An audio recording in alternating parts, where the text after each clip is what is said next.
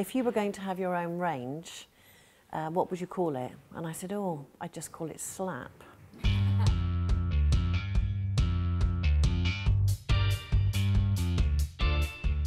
Hello, my name is Val Garland, and this is my makeup bag.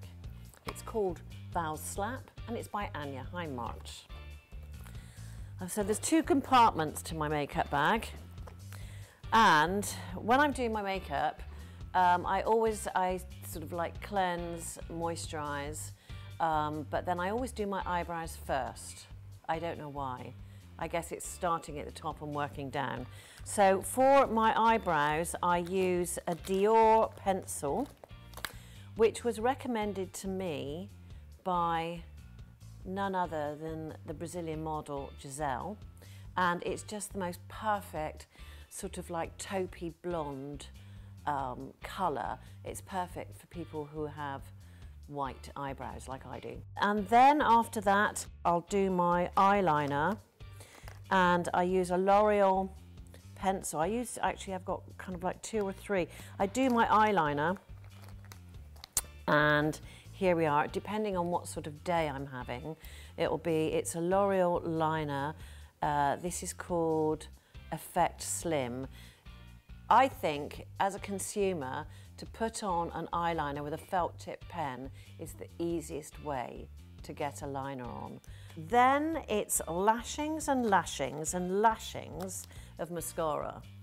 My absolute favourite at the moment is also a L'Oreal mascara. And what I like about this is what I would call chunky monkey. It's um, a really sort of, you put it on, um, it kind of like curls your lashes, lengthens your lashes. It's got this really cool sort of like brush, which is not working there. No, no, it goes like that. So it's like that and like that. And what I like about this is I can really get in right into the corners and the outer corners and that's a trick that we do backstage with um, mascara wands. We call them spoolie wands. We always bend the wand so that we can get into the inner corners and the outer corners more easily.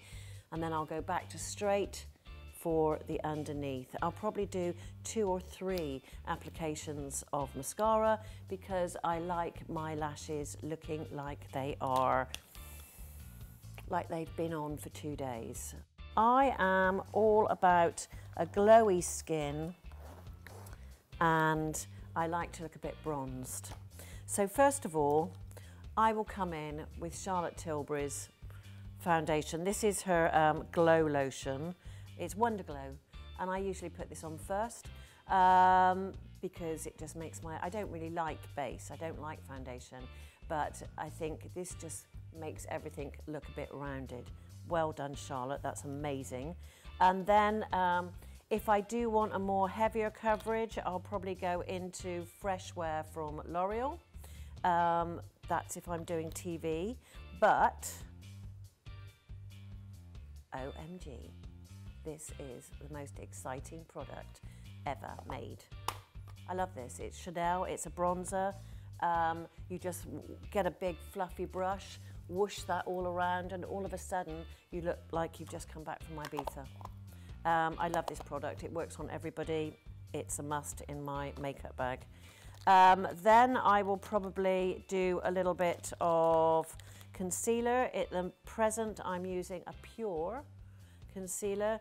Um, you know, I'm a lady of a certain age, so um, I do have some age spots. So I'll, I'll, usually just pop this on where I think I've got like a little bit of discoloration, blend that in with a fluffy brush.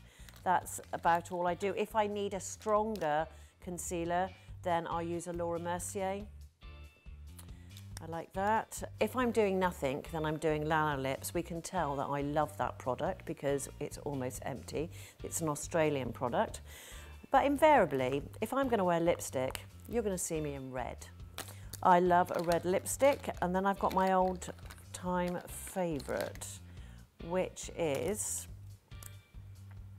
this is 347 from L'Oreal. It's just a really blue-based creamy red. That works really well on my skin colour. This is the new one from Isabel Marant. Um, can't really read what it's called, but again, it's another red. You can't go wrong with a red lipstick. If, if you're wearing nothing else on your skin but a red lipstick, you're ready. Takes me about 15 minutes. I usually do it at the kitchen table. I face the natural light. I always have a magnifying mirror and a Q-tip from Muji. Um, and that's about it, really. My earliest beauty memory, memory is probably from my sister who had terrible, oh, she's going to hate me saying this, but she had, she had sort of, yeah, she had terrible acne when she was like 12 and 13. So she used to put on loads of makeup and her um, base of choice was Revlon's Toasty Beige. And it went on to, and it, I think, and she wore that, I think, because it was my mother's um, favourite base as well. And I think in those days, which would have been the 60s, it was really important to look like you had a tan. Because, you know, going on a holiday was kind of like, that was a luxury. And so if you looked like you'd been on holiday, uh, there was another product that was very big at that time as well that my sister and my mother were using, and that was Guerlain Taint, Taint Dior. And it was kind of, it was like tea. It was the consistency of tea. And you put it on with a cotton wool ball and you put it all over your face, all over your legs, and suddenly you were the colour of tea. I think we've all had disasters at work. Um, I think my one lesson that I've learned in all my years as being a makeup artist is read the instructions. Make sure you read the instructions. That's all I'm going to say about that. I remember the Alexander McQueen show where Shalom got fired at by robots with paint.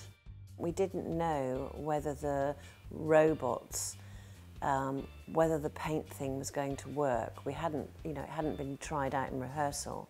So, you know, um, it was a very kind of like, will it work, will it work, will it work? And just seeing Shalom Harlow twirling around and the paint just cascading down this dress. I mean, I think every one of us that was backstage was crying. And um, I'll never forget that moment. If I was on a budget and um, uh, I needed a hair conditioner and um, a body lotion, and this is what I do do on holiday, I buy coconut oil and I'm putting that on my hair and I'm putting that on my body, you know, after I've been in the sun. It's amazing. And, oh, and I can cook with it as well. I am obsessed with skincare, um, and I think that's where I spend most of my money. Glam Glow, this is a great mask. I love anything Japanese or anything Korean, anything Asian. This is Decorté, obsessed. Um, I just love the way this is, the way it is to touch. It's like jelly um, when you put it on. It, their products are astonishing. I can't be without my Decorté. Oh, my look's completely changed. Um, I think now I kind of look like a lady who lunches, um, whereas in my early years, um, I looked quite scary, I think, because I was a hairdresser and I had every colour under the sun and I used to shave my head. I was, you know, very much into the new romantic scene, so, you know, loved having yellow hair or blue hair. Um, I used to paint pictures on my face. So I probably spent most of my time looking a mess, but um, I don't know, I, I just loved experimenting.